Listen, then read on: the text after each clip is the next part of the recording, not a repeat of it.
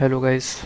Let's discuss about the community predictions. So yesterday we see we voted for radiant and dire one.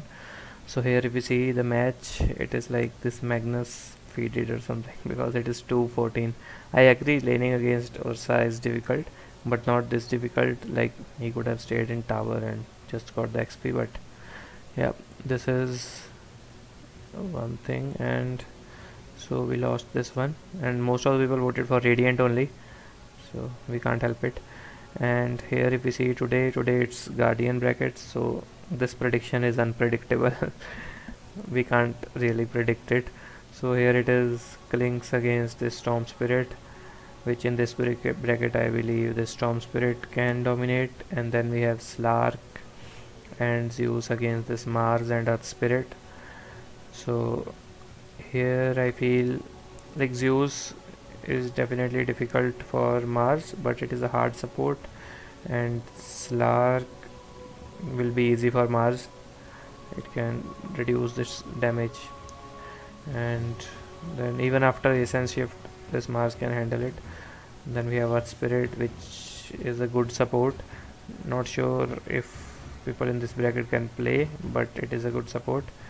And then we have Pango and Pango and Lich against Faceless Void and Venomancer. So here if we see I I will vote Dire guys in this game because see this Faceless Void counters this Slark.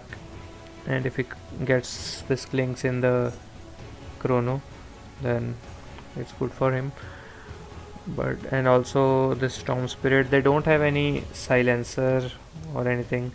So this storm spirit will be difficult to handle. Like no silence is there. And stun is there rolling thunder but he can easily escape with his ulti and we have no other major stun here. So and here we see this is five man stun. This is a good hero definitely. This is also like a small stun but quite powerful. And then we have a spirit a stun and this is very good support. So I can vote I will vote Dire guys. So let's see. I am voting Dire hope we win. And also guys today this collector cache 2 has got released so we have posted a video on that also. And you will see the link to the video at the end of this video. So please do watch it and also subscribe my channel for more such videos. Thanks for watching